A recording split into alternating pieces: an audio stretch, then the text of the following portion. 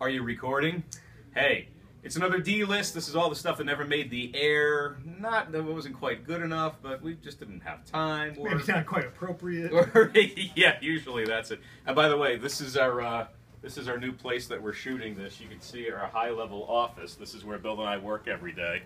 Uh, of course, it's a very private office, as you can see. We're in the middle of a hallway. This is actually a hallway down here.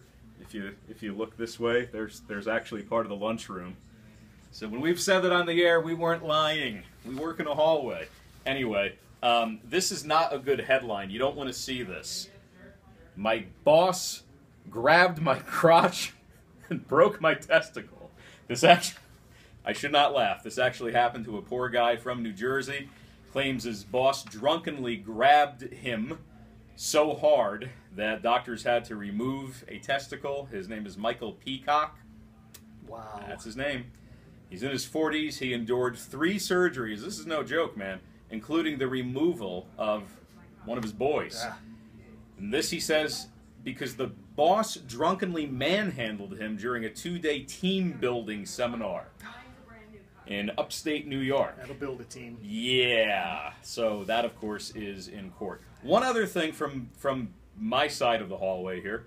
Uh, I found this story that's called "Why Are Lesbians Drinking So Much?" and I had no idea about this, but for years, academic research has shown that bisexual women and lesbians abuse alcohol at a much higher rate than heterosexual counterparts, or even at a higher rate than homosexual males and they're trying to study this whole thing. It was a 10 year study involving hundreds of women.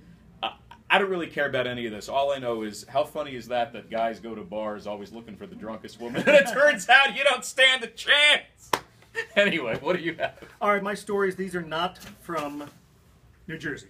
This first story is from Alabama. Story of a poor man. He felt like his wife was ignoring him. She was spending a lot more time with their dog, a Shih Tzu, than she was with him. So he set out to get even with her, and he had an affair. She, he cheated on his wife, but his wife got suspicious and put some recording devices around to catch him cheating, and she did indeed find out he was cheating with the Shih Tzu. Yes, that's right. He was having sex with the dog. She was uh, quite dismayed to find out his partner. Have you seen a Shih Tzu? How, Yeah, how is that okay, even possible? All funniness aside, they say the dog may have to be euthanized because of Oh. it's just that small. And then there's a Florida Oh. woman who had a pit bull. How do I describe this delicately? She also engaged in some sexual activity with her dog. She took advantage of the pit, pit bull's tongue and recorded it on her phone where police found it. So those are my two stories of bestiality from the deep south. Okay. Well, this has probably been the last D list, and thank you very much for watching. Listen for us, hopefully, Mondays through Fridays, 2 to 7 on New Jersey 101.5.